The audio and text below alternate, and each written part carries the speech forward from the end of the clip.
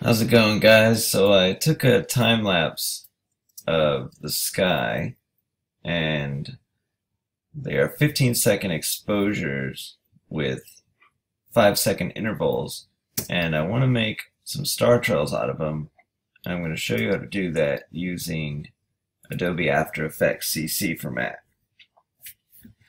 It's actually very simple. There are no tutorials online for the newest version of After Effects. So I decided I would go ahead and make one. And I'm just downloaded it and started the trial today and just figured out how to do it today. So you can't see this top part up here because I wasn't able to get it with Screencast-O-Matic. But if you go to File, Import Multiple Files, and then go to where your images are, which might happen to be right here in this memory card, external memory card, click open and it'll open it right here in the project to the left.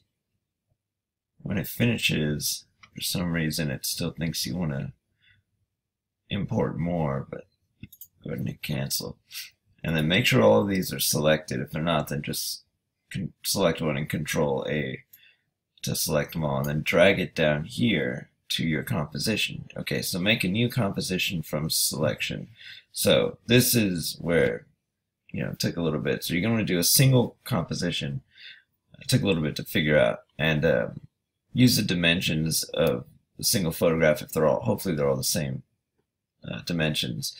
Uh, Alright, so the still duration is going to be how long the image is displayed for. And you can add to render queue if you want to render it in After Effects, um, but I suggest rendering it in uh, Media Encoder, which I'll do here. Uh, Alright, so, and you can look up how to render things uh, in different ways. So, I've set this to 4 second still duration. Sequence the layers, overlap them by just check marking these bad boys. Um, transition off, for star trails, which is what I'm going to do here, and duration 0.01 of a second. And that's so you can, I mean, you can change this, um, you know, to make it longer, depending how you, what images you took and how you want it to be. But these are the settings I'm using for my star trails. Alright, so I select that and it'll make a kind of a stepping case here. Alright, so now that we have this set up, then we select these down here, and again, make sure you have them all selected. If they're not all selected, then, you know, just Command A. Select them all, and then come up to uh, Layer up top, Blending Mode, Lighten, and remember, make sure they're all selected.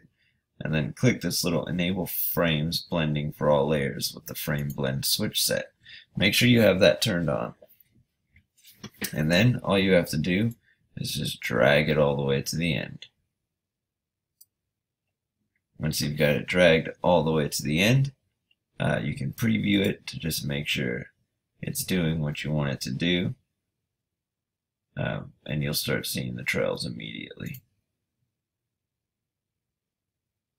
So this is of 175 frames. Uh, 15 second exposures with 5 second intervals. And so now what I'm going to do is render this video. And so, by the way, right here on the left, it shows you how long it takes in the frame rate, how long the video that you made is. Um, and you can also see it right here. It's a little more than 17 seconds. So if it's not the time that you like, then just, you know, if it's not long enough, or if it's too long, then uh, just Command Z, which is undo, right? And we'll undo all this. If it's too long, we'll go back to that. Try it again. Then just make this, just do it again, and then change this still frame right here and make it a little shorter. Like uh, 17 seconds was a little long for me, so I'm going to shorten it a bit, and then comes out here to about, looks like we're about 11 seconds. So that's good. Remember, so we'll enable this, make sure we got all those selected, go to layers, blending mode, lighten for all of them, and then extend it all the way to the end. And there you have it. Very simple way to make star trails using After Effects. And it'll go all the way through. Alright, so now rendering. Uh, and then you can add more stuff like text and stuff. You can put your name down here at the bottom.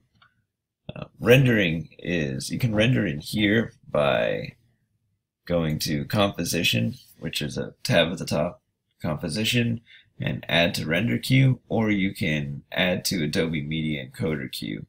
Uh, the render queue is pretty simple. It just it uh, yours might end up down here. You can grab and drag it up here if you like. That's how I got it. Yours yours might be down there, so you can grab and drag it up here if you like, or keep it down there, whatever's better for you.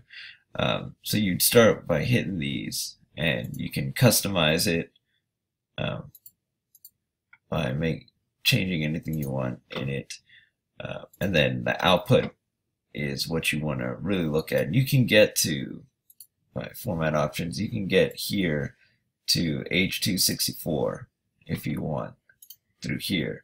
But now this is my first time actually rendering something, but I figured it out so I wanted to make a, but I'm not going to render it through here. I'm going to go to composition and add to Adobe Media Encoder and then open up Adobe Media Encoder. For some reason that didn't work. So, oh wait, yeah, it did. Came back here. But if it didn't work for some reason, just come back here and you'll notice at the top here a composition has appeared. And that's this composition down here, see DSC3 whatever it's named. And you can literally just grab this and drag and drop it in there. Um, if it doesn't, if it doesn't, uh, if the if you didn't want to do composition, to Adobe Media Encoder queue, you can literally drag it in there. Then once it's dragged in there, then just click the H264 and this is how you render it in Media Encoder. Alright, so Media Encoder has the format here, which is awesome because it's anything you like. if you want MPEG 4, um, but the H264 is the best, and the preset is where it'll have super friendly um, outputs. So I'm going to go for the 4K YouTube output and make sure your duration is good. You like everything, you can preview it down here, but it's going to have to render the preview. So export video, export audio. Uh, you can mess with some more settings down here if you'd like, but once you got it done, you got it done. Then you select OK and you render your star trails.